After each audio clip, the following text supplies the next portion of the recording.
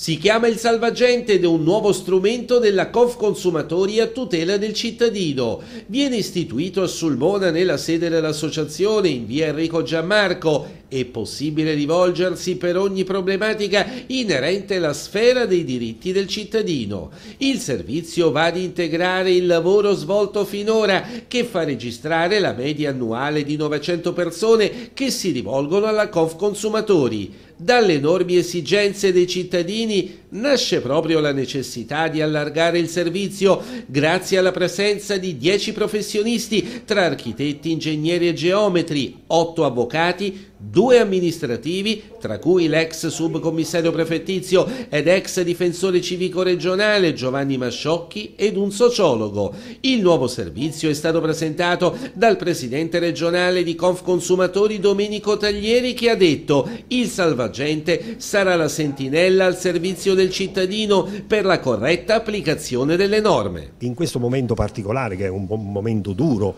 grave, eh, nel quale il cittadino ha bisogno di tutto, per, eh, per non mettere ostacoli, per non eh, creare al cittadino nessun disappunto, abbiamo pensato a questa sigla il salvagente.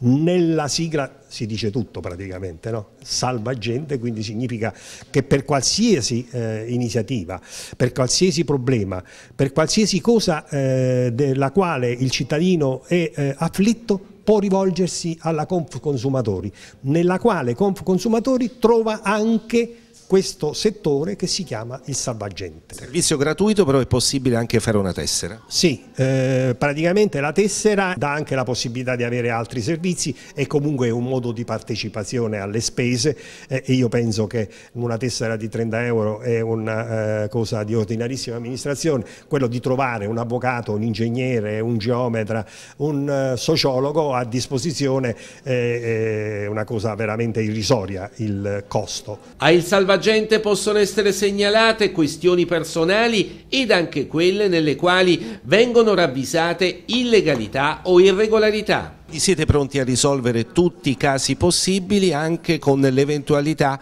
di procedere ad azioni legali? Senza meno. Noi eh, per esempio ci troviamo di fronte a ritardi forti nelle risposte che vengono date al cittadino da parte della pubblica amministrazione.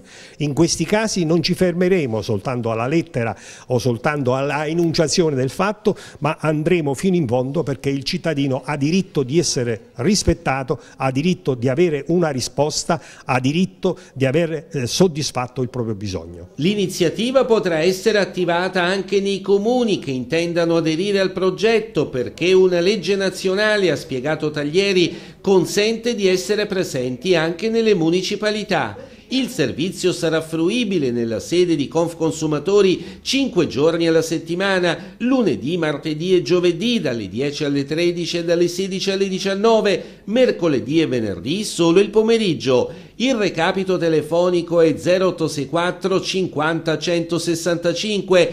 Presto verrà attivato anche un numero di cellulare per le emergenze.